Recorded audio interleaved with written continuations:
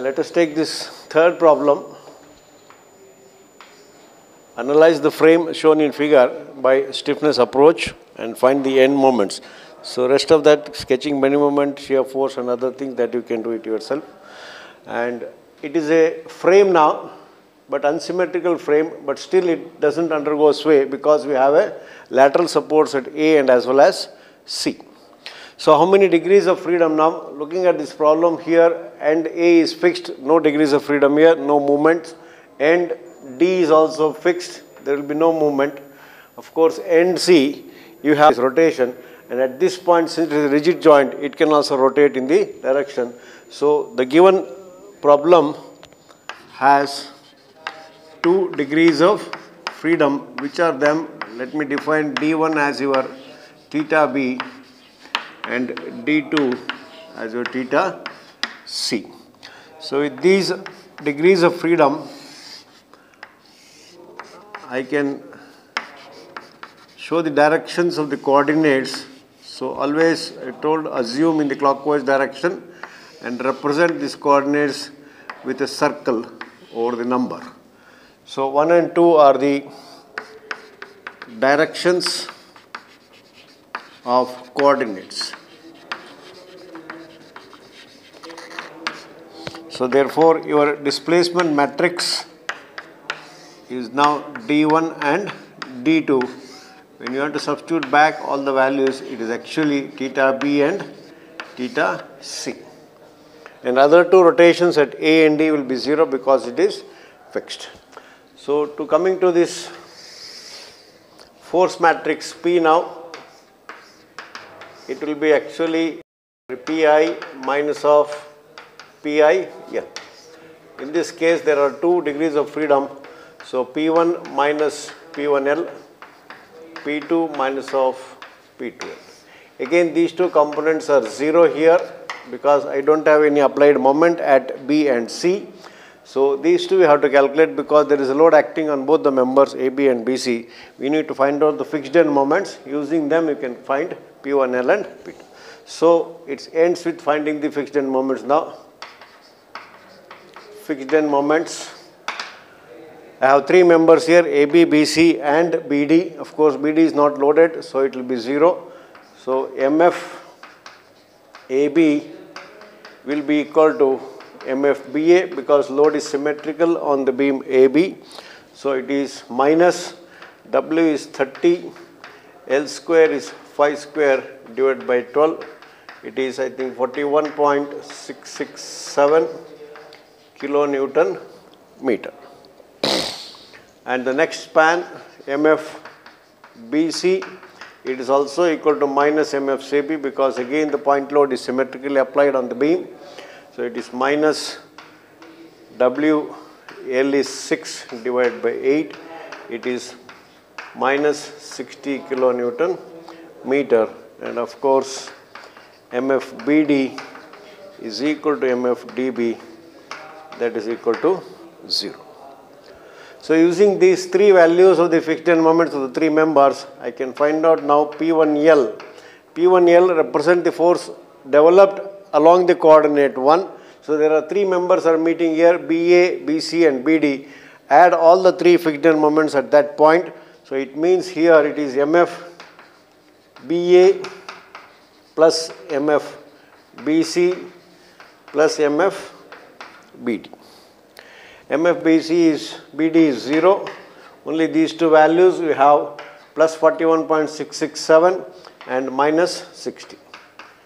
Plus 41.667 minus 60 it is equal to now 18.333 kilonewton meter.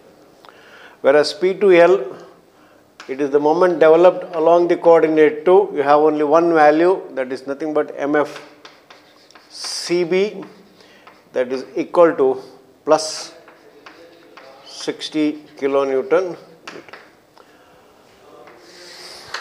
So I've changed the numericals of the UDL. It is instead of 30, it is 20 kilonewton per meter. Accordingly, your value of MF AB and BA will change. I have changed here 20 into 5 square by 12, 41.667 and these two will remain same. So you got P1L and P2L that you can use it at the end while substituting into your stiffness relation. So before going to relation, we need to find the stiffness matrix. So what will be the size of the stiffness matrix? N is equal to 2 here because there are two degrees of freedom. So 2 cross 2, there will be 4 elements you need to calculate. Now it is stiffness matrix.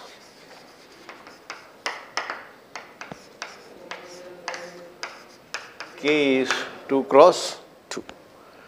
So to find out these stiffness matrix, the first step is to find the first column of the matrix, apply unit rotation along the coordinate 1. So simple unit rotation along 1.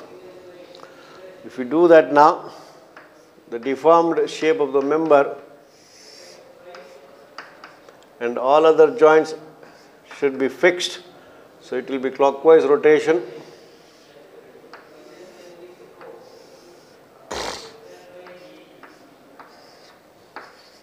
Theta b equal to 1. So it means now theta b equal to 1 whereas other coordinate theta c should be equal to 0 and of course you have theta a and d are already 0. So what will be the value now what this K11 indicates now, it is the force developed along the coordinate 1 or at coordinate 1 because of the unit rotation along the coordinate 1. So this is force here in this case it is moment developed. Force is a general word we use. Moment developed at coordinate 1 due to unit rotation along 1. So since it is a moment developed here and the rotation theta b equal to 1, so it is 4 ei theta b by L, so theta b is 1. So 4 ei or to be specific, let me put the value as MBA plus MBC plus MBD. This is actually the moment developed at joint B all the three members are meeting here. So for all the three members, it is a near end. This point B is a near end, far end is A, D and C. So for near end, we have the equation, it is 4EI divided by L is 5, 4EI divided by L is 6, plus 4EI divided by L is 4 and note that EI value is different for different members. It is 2i here and 2i here and i here. That means I need to multiply this by 2. This one is also by 2 and of course this is by 1. So it is 8 by 5 plus 8 by 6 plus 1 into EI by L. This is equal to 59 by 15.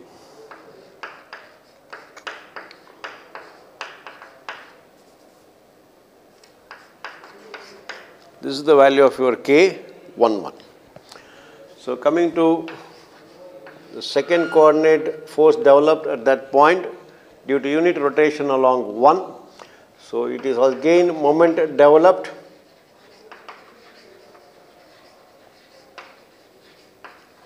at 1 due to unit rotation along 1. This is moment developed at coordinate 2. So it is equal to now at 2 you have only one possibility that is moment developed in this case it is MCB. So for this member and this is the end we are considering it is the far end for this member BC. So the value is 2 into E into 2I divided by L is 6. So it is 4 EI by 6 or you can put it as 2 EI by 3. So one set of stiffness coefficients of the first column of the matrix is found. Let me move to the second column values. To get that I have to give unit rotation along the coordinate 2. That means at C I have to rotate this member to get the theta C equal to 1. So here it is theta C is 1, the other coordinate value deformation theta B is 0.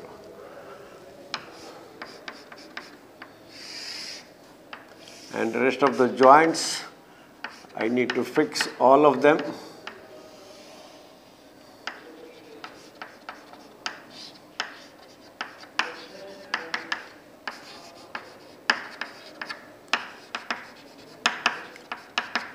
The same properties you have to write for all the members, whatever given in the problem. This is A, B, C and same equations will hold good here, these two, but only difference now it is K12, it is moment developed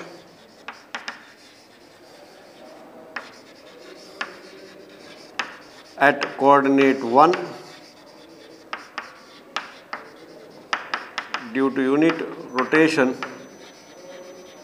along 2. You can just simply transfer these values here. That means the equation, it is nothing but MBA plus MBC plus MBD. That is equal to now in this case, you don't have moment in the member BA and BD because it is fixed, it doesn't move. So only moment developed here along this direction in the particular moment developed at B now. So this value is 0. MBD is also 0. Only thing is it is 2 into E into 2I divided by 6. It is 4 EI by 6 it is 2 EI by 3 you can see that it is also equal to K21 that is the condition of the matrix the property of the stiffness matrix it will be symmetrical K12 is equal to K21 and taking this K2 to the last element again here also it is moment developed at 2 due to unit rotation along coordinate 2. So same again, the equation is your moment developed is MCB. MCB is the near end moment here. Near end moment is 4EI by L. 4 into E into I is 2I, L be 6. It is 8 EI divided by 6 or it is 4 EI by 3. So I have all the four coefficients now. You can formulate the stiffness matrix and use the stiffness relation now. And let me write the stiffness matrix first.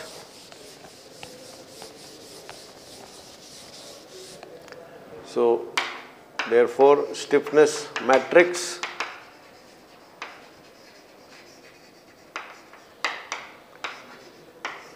K is equal to, it is 59 by 15 EI, 2 by 3 EI, 2 by 3 EI, and it is 4 by 3 EI. Now using stiffness approach relation here, stiffness relation it is P is equal to K into D. So P is nothing but equal to now P1L is minus of 18.333 and then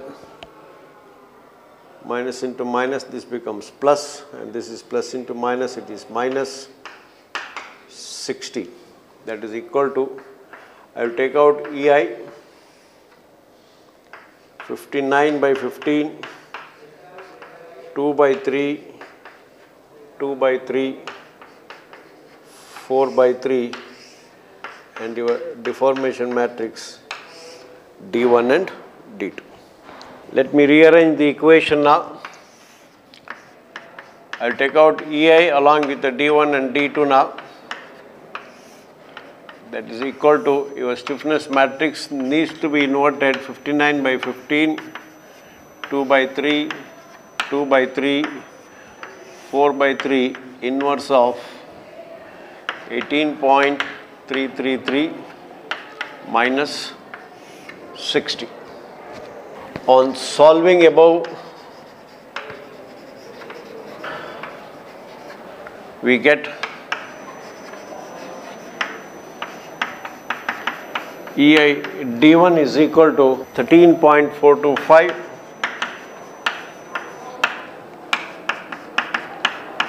EI D2 is minus 51.712. It is nothing but equal to your EI theta B and EI theta C. Now let us go to find out the final moments.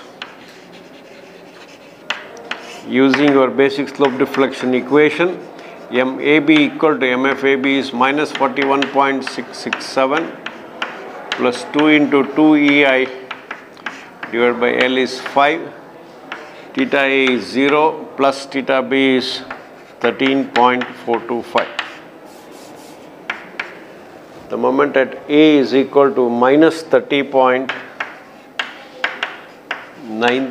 kilonewton meter.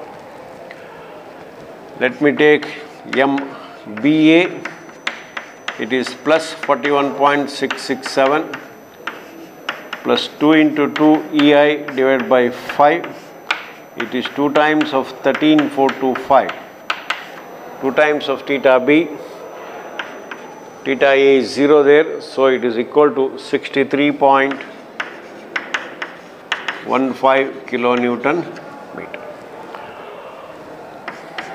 MBC minus 60 plus 2 into 2 EI divided by 6. Theta B is 2 times of 13.425 minus 51.712 is your theta C and the net moment final at B towards C is minus 76.575.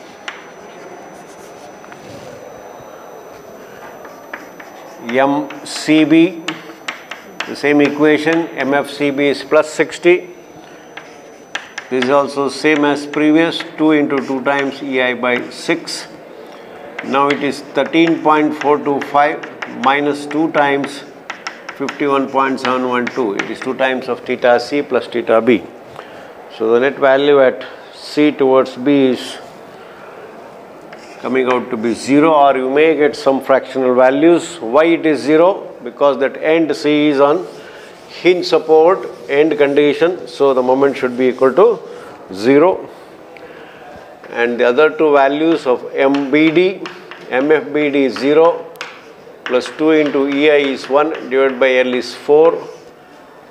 2 times of 13.425 theta B and of course theta D is 0. So MBD is coming to 13.425.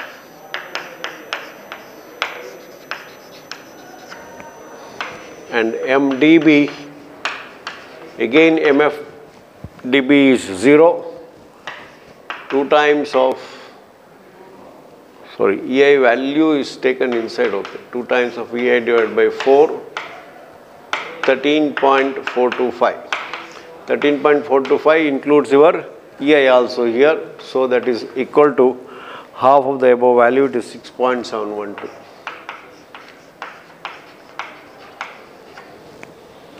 So you got all the values. You can transfer them on to the frame now. MAB is 30.93 minus anti-clockwise 30.93 kilonewton meter. MBA is 63.15 clockwise.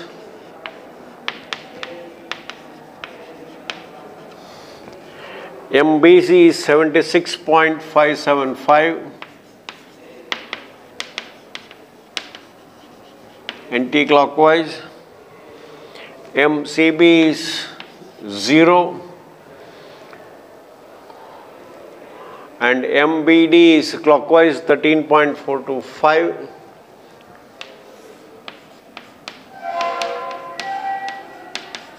kilonewton meter and MDB is also clockwise half of 13.45 16.712 kilonewton meter.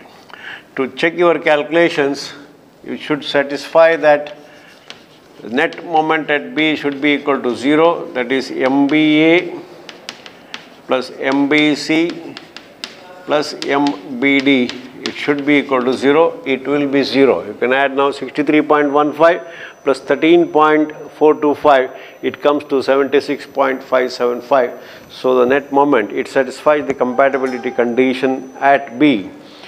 The adding all the moments of all the members BA, BC and BD meeting at B should be equal to 0 it satisfies the condition of compatibility. So if you are asked to sketch the shear force and bending moment diagram for this problem, you can take the free body diagrams of the members and do it as similar to your continuous beams. So this is the problem on frames, the first problem, of course without sway. So since you have a horizontal restraints in the member, it doesn't move in the horizontal direction. So it's a problem of frame without sway.